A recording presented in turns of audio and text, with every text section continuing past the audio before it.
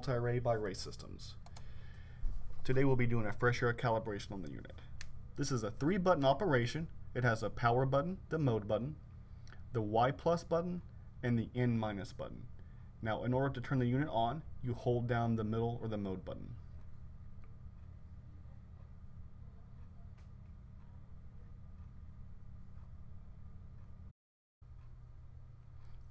Now we're in the live reading mode.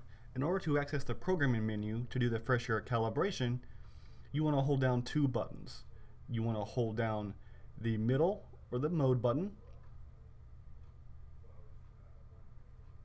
and you also want to hold down the N minus button.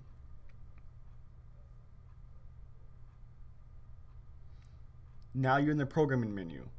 To bypass this password to do the fresh air calibration, all you have to do is hold down the middle or mode button. Now you're in the programming menu. It's going to prompt you to do the calibration. So all I have to do now is hit the Y plus button to access that calibration menu. There's multiple different calibration menus you can choose from. But for our aspect, we're just going to do the fresh air calibration. So go ahead and press the Y plus button one more time.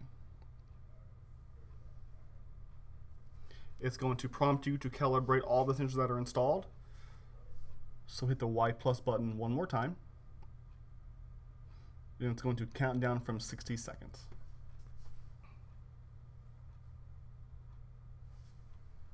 Once the air calibration is done, it will say pass or fail on each sensor and it will give you the readings as well, as you see here.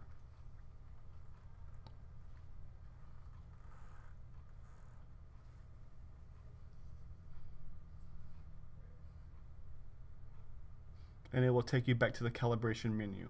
In order to back out, hit the middle or mode button once, and you're back in the calibration programming menu and hit the mode button one more time and you're back in live reading mode and your unit is ready for use.